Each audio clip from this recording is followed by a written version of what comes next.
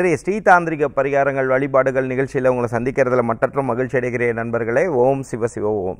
இன்றைக்கி நம்ம பார்க்கக்கூடிய தலைப்பு என்னென்னா நவராத்திரியோட முதல் மூணு நாள் வழிபாடும் நம்ம பார்த்துட்டோம். இது ரெண்டு நாளைக்கு முன்னாடி வீடியோ போய் ஸ்ரீ தாந்திரிக் அஸ்ட்ராலஜின்னு போய் டைப் பண்ணிங்கன்னா இந்த முதல் மூணு நாள் எப்படி எளிமையான முறையில் வழிபாடு பண்ணணுங்கிறத நம்ம கொடுத்துருக்கோம். அதே மாதிரி இரண்டாவது மூன்று நாட்கள் எப்படி இப்படி பண்ணலாங்கிறது எளிமையான மெத்தட் எப்படி பண்ணலாம் அப்படிங்கிறதும் நேற்று வீடியோவை போய் பார்த்தீங்கன்னாலும் போய் பார்க்கலாம். இந்த மூணாவது மூணாவது நாள் வந்து எப்படி பண்ணணும்? அதாவது ஏழு எட்டு ஒம்போதாவது நாள் எப்படி எளிமையான முறையில் பார்க்கலாம் அப்படிங்கிறதும் இந்த வாட்டி பார்க்கலாம். அப்போது இந்த வழிபாடு அப்படிங்கிறது வந்து ஞானத்தை கொடுக்கக்கூடிய வழிபாடு. அப்போ இதுக்கு நீங்கள் என்ன பண்ணணும்? அப்படின்னா ஞானம்னு நம்ம சொல்லும் பொழுதே யார் நினைப்பு வரும்? சரஸ்வதி தேவியை நம்ம நினைக்கிறோம். அப்போ அந்த சரஸ்வதி தேவியை அவங்கள முன் வச்சு வழிபடுறதும் ஞானாம்பிகையை முன் வைத்து வழிபடுறதும் மிக சிறந்த பலனை கொடுக்கும். அப்போது இந்த ஞானாம்பிகைன்னு சொல்லக்கூடிய அம்பாள் யார்? அப்படின்னு பார்த்தீங்கன்னா ஞானத்தை அள்ளி கொடுப்பவள். இது வ- வந்து அவங்களுக்குன்னு அம்பாளுக்குன்னு உள்ள ஒரு கோயில் ஒரு இடத்துல எங்கே இருக்குன்னா தேனுபுரீஸ்வரர் சமேத ஞானாம்பிகா சந்நிதி வந்து நம்ம பட்டீஸ்வரம் துர்கையம்மன் கோயிலில் இருக்குது அப்போ இந்த ஞானாம்பிகை என்ன பண்ணுறாங்க அப்படின்னா இதெல்லாம் நீங்கள் ஏன் உங்களுக்கு நான் சொல்கிறேன் அப்படின்னா இந்த ஞானாம்பிகா என்ன பண்ணுறாங்கன்னா நம்ம விஸ்வாமித்திரர் வந்து மிகப்பெரிய அறிவாளி. சரிங்களா? தனக்கு எல்லாம் தெரிந்தவர். பட் அவர் ஆனால் எப்போ பார்த்தாலும் என்ன சொல்லிகிட்டே இருப்பாருன்னா எனக்கு அது தெரியும். நான் நான் நான் சொல்லிகிட்டே இருக்கிற வரைக்கும் அவருக்கு வந்து பிரம்ம ரிஷி பட்டமே கிடைக்கல. அப்போ ஒரு நாள் என்ன ஆகுதுன்னா நம்ம ஞானாம்பிகை சந்நிதிக்கு போயிட்டு அங்கே போயிட்டு அம்பாளை போயிட்டு அழறார். இந்த மாதிரி என்னது இது? இப்படி நமக்கு நான் இவ்வளோ அறிவாளியாக இருந்தும் எனக்கு இன்னும் பிரம்ம ரிஷி பட்டமே வசிஷ்டர் கொடுக்கலையே அப்படின்னு சொல்லி அழும்பொழுது நான் ஒன்றுமே இல்லைம்மா. எல்லாமே நீதாம்மா. அப்படின்னு சொல்லக்கூடிய தன்மையில் போய் அங்கே தேனுபுரீஸ்வரர் கோயிலில் போய் ஞானாம்பிகா சந்நிதியில் போய் அழுகும் பொழுது அங்கே வசிஷ்டர் வந்து என்னைக்கு நீ இந்த ஆணவத்தை அழித்தாயோ? இன்றிலிருந்து நீ பிரம்ம ரிஷி பட்டம் பெறுகிறாய். அப்படின்னு சொல்லி கொடுத்த கதை உண்டு. இது உண்மை. அந்த நடந்த அந்த கோயிலில் போய் பார்த்தீங்கன்னா இந்த கதையை கேட்டிங்கன்னா நான் சொன்னது என்னன்னு உங்களுக்கு புரியும். அப்போது இது இந்த மூணு நாளில் நீங்கள் என்ன புரிஞ்சுக்கணும்னா நான் என்ற அகந்தையை அழிக்கக்கூடிய தன்மை. ஏன்னா நம்ம சில பேரை பார்ப்போம். நான் இவ்வளோ சாமி கும்பிட்டேன். நான் இவ்வளோ தானம் பண்ணேன். நான் இவ்வளோ சாமி கும்பிடுவேன் தெரியுமா? நான் இவ்வளோ பேருக்கு உதவி செய்வேன் தெரியுமா? இதெல்லாம் பெருமை பேசக்கூடிய விஷயம் அல்ல.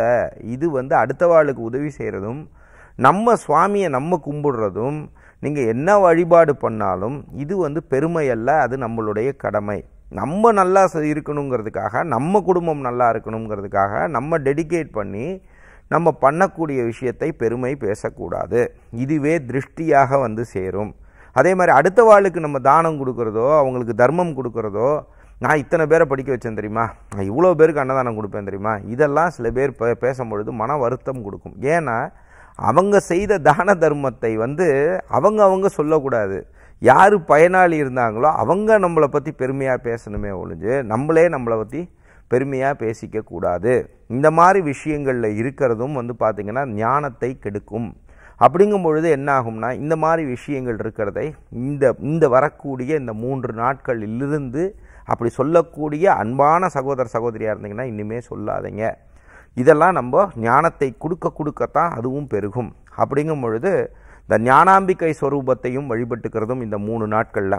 சரஸ்வதி ஸ்வரூபமாக வழிபட்டுக்கிறதும். இதில் நீங்கள் நினைக்கலாம் இந்த துர்கா தேவிக்கும் சரி அதே மாதிரி வாராகி தேவிக்கும் சரி காளி தேவிக்கும் சரி அதே மாதிரி லக்ஷ்மி ஸ்வரூபங்களுக்கும் சரி இதுக்கு கொடுக்குற இம்பார்ட்டன்ஸ் நிறைய பேர் ஞானத்துக்கு கொடுக்கவே மாட்டாங்க.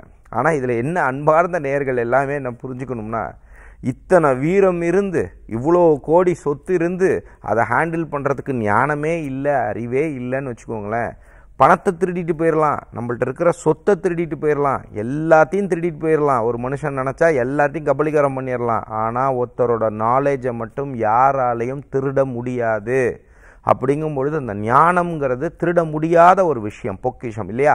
இந்த கல்விங்கிறது அவ்வளோ பெரிய விஷயம். இதில் கல்வி உண்டு ஞானம் உண்டு பக்தி உண்டு. இதெல்லாம் நீங்கள் சேர்க்கக்கூடிய பெரிய அசட் சரிங்களா? அப்படிங்கும் பொழுது இந்த ஞானத்தையும் தேடுங்கள். இந்த ஞானத்தோட நீங்கள் செய்யக்கூடிய எல்லா காரியங்களும் உங்களுக்கு ஜெயம் கொடுக்கும். அதனால இந்த மூணு நாள் நீங்கள் என்ன பண்ணணும்? சரஸ்வதி தேவியவும் ஞானாம்பிகையோட திருவுருவப்படம் இருந்தால் ஞானாம்பிகையோட திருவுருவப்படத்தையும் எடுத்து வச்சுக்கிறதும். இப்போ நீங்கள் என்ன பண்ணணும்னா இதில் உங்கள் சங்கல்பம் எல்லாம் ஞானத்தை கொடுத்தாயே அப்படின்னு சொல்லி நீங்கள் நினச்சிக்கணும். இப்போ நீங்கள் நினச்சிக்கிறது வந்து சாத்வீகமான படையல்கள். சரிங்களா? பழங்கள் பூக்கள் இந்த மாதிரி விஷயங்கள் வைக்கிறதும் அதே மாதிரி இந்த மூணு நாட்களில் எவ்வளோக்கு அவ்வளோ கல்வி தானங்கள் செய்ய முடியுமோ பண்ணுங்கள் இதை வந்து இந்த மூணு நாள் மட்டும் செய்யக்கூடாது. இன்றிலிருந்து இந்த மூணு நாள்லேருந்து அடுத்தவங்களுக்கு நான் ஞானத்தை பகிர்வேன். அதே மாதிரி அடுத்தவங்களுக்கு முடியாதவர்கள் முடியாதவர்கள் நான் சொல்கிறது பொருளாதார ரீதியான இயலாதவர்களுக்கு கொடுத்து பாருங்கள் நான் கொடுத்து பார்த்தீங்கன்னா உங்கள் வீட்டில் இருக்கக்கூடிய குழந்தைகள் நல்லா இருக்கும். சரிங்களா? அப்போ எத்தனையோ குழந்தைங்க ஒரு ஆயரூவா கூட காசு இல்லாமல் வருஷத்துக்கு ஆயரூவா காசு இல்லாமல் எத்தனையோ பேர் இருக்காங்க. நம்ம சினிமாவுக்கு சுற்றுறோம் அங்கே போகிறோம் இங்கே போகிறோம் இதெல்லாம் செலவு பண்ணுறோம் கண்ணா அப்படின்னான்னு செலவு பண்ணுறோம் அப்படிங்கும்பொழுது ஒரு எளியவர்களுக்கு போய் உதவிகள் செய்யுங்கள். அதே மாதிரி அந்த கல்வி தானங்கள் கொடுங்க.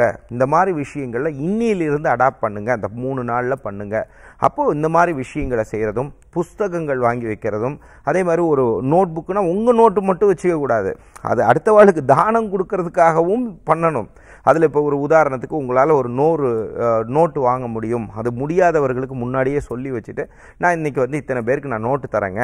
அப்படின்னு நீங்கள் தாராளமாக சொல்லலாம். எழுத்தாணிகள் வாங்கி வைக்கலாம். எழுத்தாணிகள்லாம் பேனாக்கள் வாங்கி வைக்கலாம். இந்த குழந்தைகளுக்கு உள்ள விஷயங்கள் எடுத்து வைக்கலாம். இந்த மாதிரி விஷயங்கள்லாம் எடுத்து வச்சுட்டு இந்த மூணு நாள் எடுத்து வச்சுட்டு மூன்று நாள் கழித்து கூட எல்லாருக்கும் இப்போ இந்த கவர்மெண்ட் ஸ்கூலில் இருக்கிறவங்களோ இல்லைன்னா உங்களுக்கு தெரிஞ்ச பொருளாதார ரீதியாக இருக்கக்கூடிய கம்மியாக இருக்கக்கூடியவர்களுக்கு போய் இந்த நோட்டு புத்தகங்களை கொடுக்குறதோ உங்களுக்கு தெரிஞ்ச ஞானமான விஷயங்களை போய் நீங்கள் இந்த கோயில்கள் பக்கத்தில் இருக்கக்கூடிய கோயில்களில் போய் அதில் நீங்கள் சொல்லி கொடுக்குறதோ அடுத்தவங்களுக்கு ஒரு என்லைட்மெண்ட் கொடுக்குறதோ இந்த மாதிரி விஷயங்களை நீங்கள் செய்யும் பொழுது உங்களுடைய வந்து அறிவுங்கிற ஊற்றும் வந்து உங்களுக்கும் பெருகுங்கிறதையும் நீங்கள் புரிஞ்சுக்கணும்.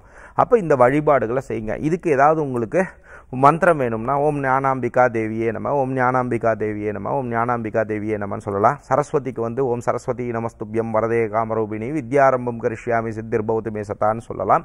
இப்போ இந்த மாதிரி விஷயங்களையும் நீங்கள் செஞ்சுட்டே வரும்பொழுது மிகப்பெரிய மாற்றத்தை உங்கள் வாழ்க்கையில் கிடைக்குங்கிறது தான் யதார்த்த உண்மை என்பர்களே. நாளை மற்றும் ஒரு தாந்திரிக ரீதியான வழிபாடுகளுடன் உங்களை சந்திக்கும் வரை உங்களிடமிருந்து வணக்கம் கூறி விடைபெறுவது உங்கள் விஜய் சேத்து நாராயணன் நன்றி வணக்கம். ஓம் சிவ சிவ ஓம்.